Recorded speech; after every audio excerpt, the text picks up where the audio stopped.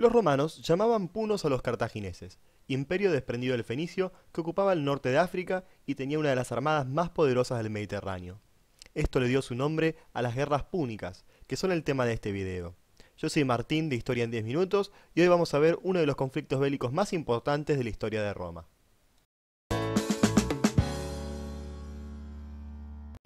A lo largo del siglo III y II a.C., la República Romana y el Imperio Cartaginés se enfrentaron en una serie de guerras que definieron el equilibrio del Mediterráneo. La República Romana era un poder relativamente nuevo y recientemente consolidado en la península itálica, luego de derrotar a los nativos que se le oponían, lo que lo convirtió en un serio oponente comercial para Cartago, su futuro rival. La primera de las tres guerras púnicas comenzó en el año 264 a.C., porque los mamertinos, antiguos mercenarios samnitas contratados por los romanos en sus guerras por el control de la península itálica, al no recibir sus pagas a tiempo, tomaron control de la ciudad de Mesana y a su vez comenzaron a atacar las ciudades griegas de Sicilia. Ante esto, el rey de Siracusa y Herón II se dispuso a atacar a los mamertinos, quienes pidieron ayuda a Cartago para defenderse. Cartago aceptó el envío de tropas para proteger a los mamertinos, pero al mismo tiempo, otro grupo de mamertinos le pidieron ayuda a los romanos, quienes no estaban dispuestos a dejar que Cartago se convirtiese en un poder en Sicilia. Los mamertinos decidieron aceptar la ayuda de los romanos por sobre la cartaginesa, y entonces Cartago decidió ofrecer su ayuda a Hierón II, el rey de Siracusa. Por lo tanto, Roma y Cartago se encontraban en bandos opuestos y así comenzó la guerra. El episodio de los mamertinos puede ser considerado como la causa inmediata de la guerra, o causus belli en latín, pero en un análisis más profundo, uno de los motivos del inicio de la guerra fue que Roma se estaba convirtiendo en un serio competidor comercial para Cartago, cosa que éste no pudo aceptar. Al principio de las hostilidades, Hierón II se puso del lado cartaginés, pero al ver que los romanos eran el lado más fuerte, decidió cambiarse de bando con la promesa de que los romanos reconociesen su gobierno en Siracusa. El conflicto con los mamertinos, que había servido solo como excusa, había pasado en segundo plano. La guerra se combatió principalmente en Sicilia por más de 20 años, a pesar de que Roma intentó invadir África, lo cual terminó en una gran derrota. Si bien la infantería romana era superior a la cartaginesa que estaba compuesta en su mayoría por mercenarios, Roma no contaba con una flota, mientras que Cartago tenía la más poderosa del Mediterráneo. Pero cuando los romanos se dieron cuenta que era imposible ganar la guerra sin una flota, comenzaron a copiar los barcos de sus enemigos, y comenzaron a entrenar a sus hombres remando en tierra.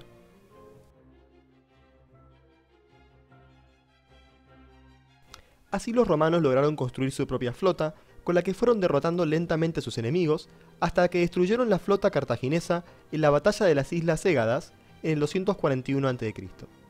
Esta gran derrota para los cartagineses les impidió seguir con la guerra y le permitió a Roma imponer una paz ese mismo año que le otorgaba los territorios de Sicilia y posteriormente Córcega y Cerdeña. Estos territorios se convertirían luego en la primera provincia romana.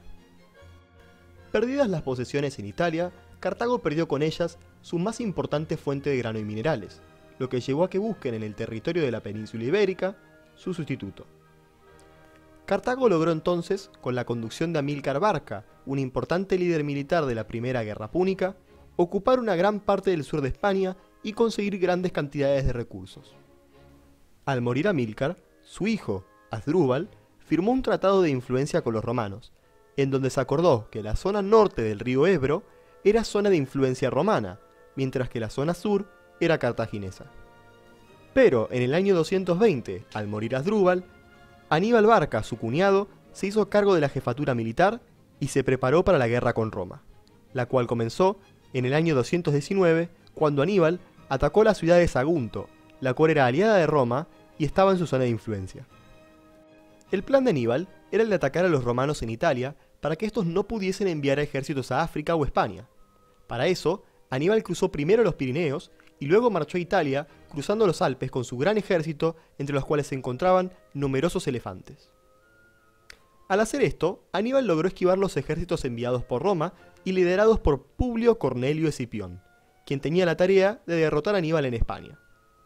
Al llegar a Italia, Aníbal no se encontraba solo, logró conseguir el apoyo de los pueblos galos del norte de Italia y, incluso, asegurarse el apoyo de Filipo V, rey de Macedonia, lo que en el futuro desembocaría en guerras entre Roma y Macedonia.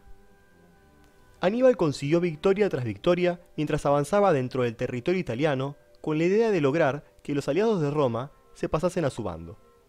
En el año 216, Roma sufrió una de las derrotas más desastrosas en toda su historia, cuando perdió en la batalla de Canas, donde se estima que murieron más de 50.000 romanos.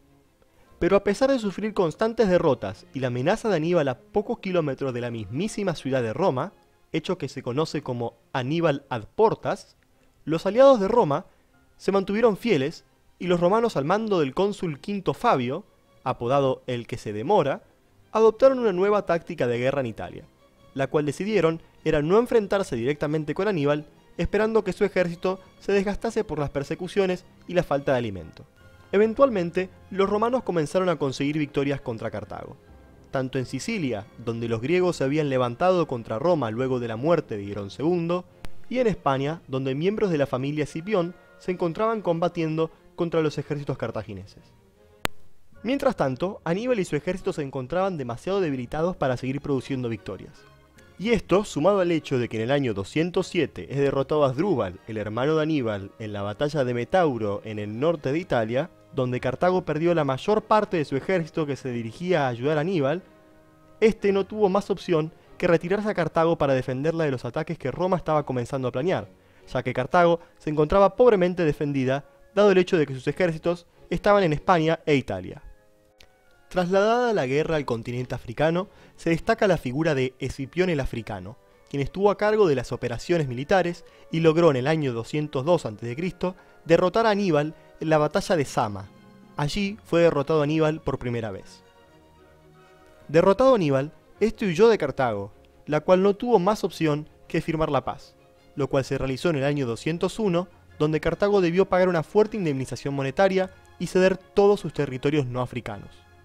La tercera y última guerra púnica comenzó en el año 149 a.C., luego de más de 50 años del último conflicto. Cartago se encontraba recuperándose económicamente, principalmente gracias a la venta de productos agrícolas y materiales preciosos.